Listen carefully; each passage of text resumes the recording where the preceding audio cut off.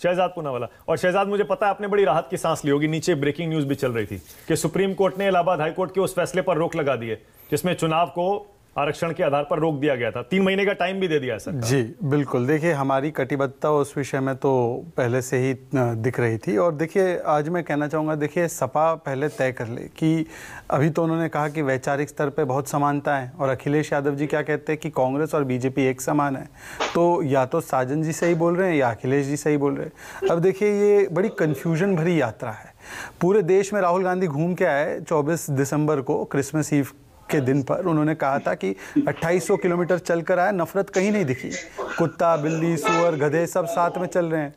ये उन्होंने कहा था, वक्तव्य था उनका। परंतु यहाँ पर उनके जो तथाकथित जो साथी जुड़ रहे हैं उनके साथ इस यात्रा में, वो कह रहे हैं कि नफरत में टूट रहा है भारत और वो कह रहे नफरत तो है ही नहीं कहीं पर। देखिए, मैं तो इसको इस प्रकार से समाप्त करता हूँ कि वोट बैंक की है मजबूरी, इसलिए हुसन अफरोज़ी पूरी पर रखेंगे दूरी दूरी मतलब जाना नहीं है पर वोट बैंक की मजबूरी भी है। अब वो आपको पता है कि किस वोट बैंक लिखा है ये अभी अभी लिखा है। देखिए सब ओरिजिनल ही कॉपीराइट है मेरा इस पे। ये देखिए ये वोट बैंक की मजबूरी है।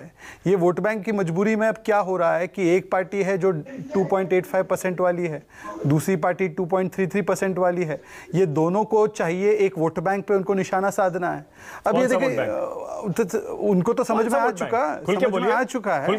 देखिए जिस वोट बैंक के खातिर उन्होंने मुजफ्फरनगर दंगों का दोष हमारे जाट समुदाय पर लगाने का महापाप किया। उन्होंने जिस प्रकार से एक पूरे समुदाय को अपमानित करने का और उसके खिलाफ एक एजेंडा चलाने का कार्य किया कृत्य किया कि इन्हीं लोगों ने अटैक किया था हमला किया था और पूरा इस्लामोफोबिया का नैरेटिव चलाया था उसी समुदाय का वोट बैंक का वोट लेने के लिए उनके लिए वो हमेशा तत्पर रहते हैं। समाजवादी पार्टी। हाँ पर समाजवादी पार्टी नहीं उनके साथ भी जो कांग्रेस तो अब यात्रा निकाल रही है वोट बैंक यात्रा है ये मुस्लिम जोड़ो यात्रा है ये मुस्लिम वोट बैंक जोड़ो यात्रा है। मैं आपको बताता हूँ पर देखिए 2014 से ये नैरेटिव गढ़ रहे हैं। कि देखिए, पश्चिमी उत्तर प्रदेश में तो भाजपा खत्म है। 2014 आया 17 आया 19 आया 22 आया। 70 परसेंट से ज़्यादा हमारा स्ट्राइक रेट विधानसभा में भी है, लोकसभा चुनाव में भी है। ये इसलिए है क्योंकि वहाँ के किसान भी बहुत समझदार हैं।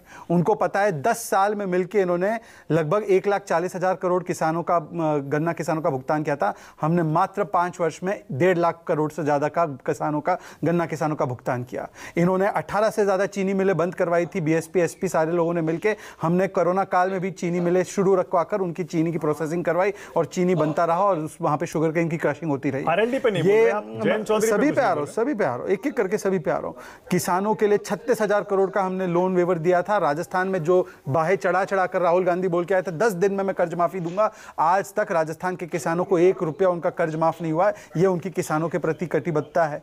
जहाँ तक आर का सवाल है देखिए आर तो अपने विकल्प खुले रख रही है। आरएलडी को भी तो पता है कि आरएलडी एक समय पर पूरे देश की पार्टी हुआ करती थी। इसलिए राष्ट्र आपने भी तो बुलाया था उनको। देश की पार्टी हमारे साथ आ जाओ। नहीं तब तो देश की पार्टी हुआ करती थी। आज मात्र सिकुड़ कर वो एक कुछ जिलों की और एक परिवार की पार्टी बन चुकी है। तो अगर उनका इस प्रकार से आज एक अस्तित्व पर एक क्राइसिस है तो वो तो कांग्रेस पार्टी के साथ भी चले हुए हैं वोट बैंक की मजबूरी है। इसलिए हुसन फरोजी पूरी सकते हैं शायद।